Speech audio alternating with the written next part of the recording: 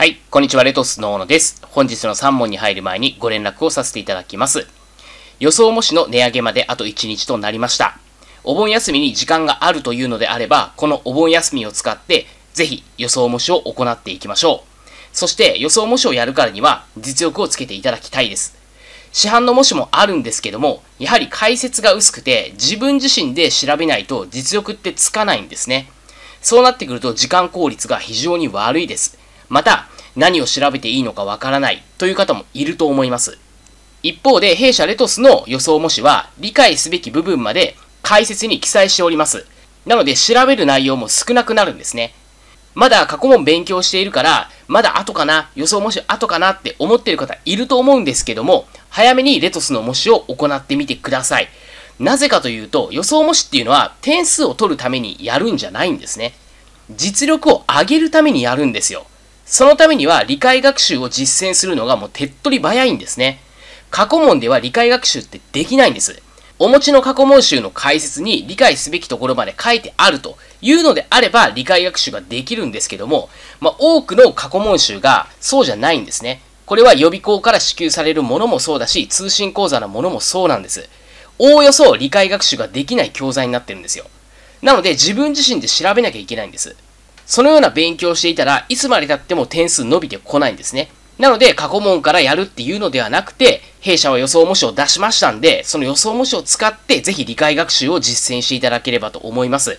一問一答で勉強する。過去問のやり方で勉強するって感じで全然問題ありません。点数丸付けしなくても大丈夫です。50問一気に解くってこともやらなくてもいいです。時間を計らなくても大丈夫です。一問一答みたいな感じで解いていくっていうのでも全然ありなんで、ぜひ弊社の予想もしやっていただければと思います。その後に過去問を行えば、弊社レトスの模試の解説、これをテキスト代わりにも使えるんですね。実際そのように使っている方いらっしゃいます。残り2ヶ月、自分の弱点を知って、これからどのように勉強していくか考えていきましょう。それでは本日の3問に入っていきます。不法行為により物が毀損したことによる損害賠償の請求権の消滅事項の期間は、権利を行使することができることとなった時から10年である、丸か×かという問題です。考えたい方は動画一旦ストップしていただいて、この動画の下の概要欄から問題文ご確認ください。で、答えは、え、これ×ですね。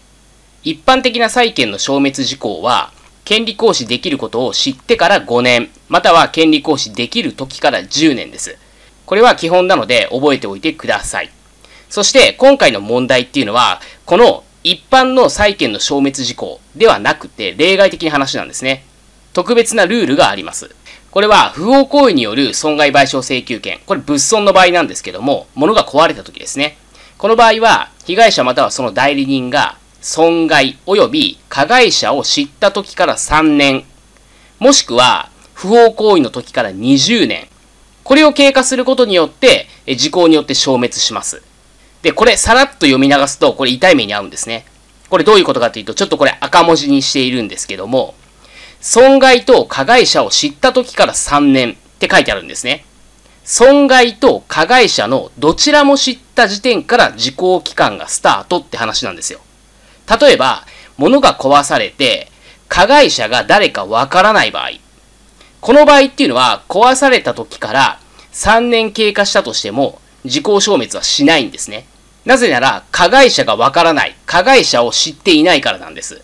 だから時効期間はスタートしてないんですよ。だから3年経過しても、これは時効消滅しないってことです。ただ、丸2のルールから、こっちですね、不法行為の時から20年経過すると、時効消滅するよ。このルールなんですけども、これによって損害賠償請求権は時効消滅することはあります。ここは引っ掛け問題作りやすいんで、細かく覚えた方がいいです。そして、この問題の関連ポイントは非常に細かいので、個別指導で解説させていただきます。この関連ポイントを頭に入れていないと、本試験で失点する可能性が高いです。本試験はいろんな角度から出題してくるんですね。なので、そういった関連ポイントをしっかり頭に入れておきましょう。で、続いて問い2に入っていきます。宅建業者 A が自ら売り主として宅建業者でない B と建築工事完了前のマンション、代金3000万円の売買契約を締結した場合、A が B から手付金600万円を受領する場合において、その手付金の保全措置を講じていないときは、B はこの手付金の支払いを拒否することができる丸か×かという問題です。え、まず、売り主は宅建業者、買い主は宅建業者ではありません。従って、まあ、ハッシュ制限の適用があるんだということですね。で、建築工事完了前って書いてありますので、これは未完成物件ということですね。ということは、手付金等が代金の5%を超える場合、保全措置が必要になります。じゃあ、代金の5%っていくらかっていうと、代金3000万円なので5%は150万円ですよね。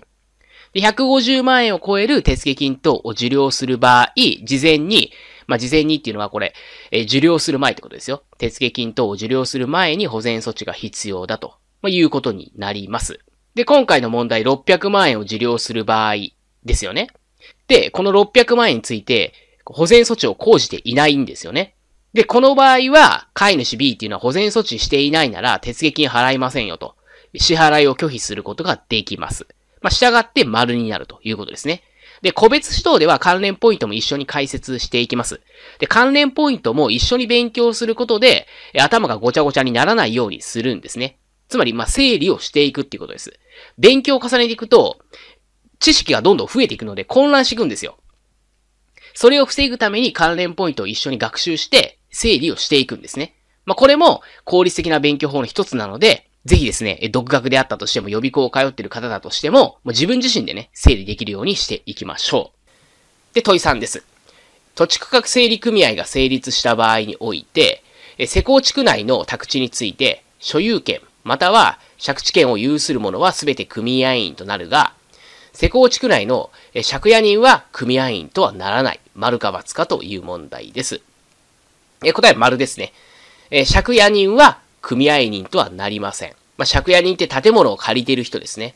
土地の所有者であったりとか、借地権者っていうのは、組合員になりますが、建物を借りている借家人については、組合員にはなりません。で、これなぜかっていうと、そもそも土地区画整理事業っていうのは、まあ、ごちゃごちゃした土地をきれいに整理する事業なんですね。まあ、土地を工事する事業ってことですね。土地を工事してきれいに整理すると。つまり、土地に関する事業なんですよ。建物っていうのは関係ないんですね。よって借家人は組合員とはなりません。そして、今販売している予想模試は、実際個別指導や短期講座で教えているような解説をしています。理解学習ができていない方、予備校や通信講座、市販の過去問やテキストを丸暗記していて、理解できているか不安だという方、点数がまだ上がってこない方、こういった方はぜひ、弊社の予想模試で理解学習を体験してみてください。こうやって理解するのか、こういうことだったのか、新たな発見や理解、さらには頭の整理まで行います。試験まであまり時間ありませんので、今から真の実力をつけていきましょう。レトスの予想模試については、この動画の下の概要欄から内容をご覧ください。今日も最後まで動画ご覧いただきましてありがとうございました。レトスの小野でした。今年絶対合格しましょう。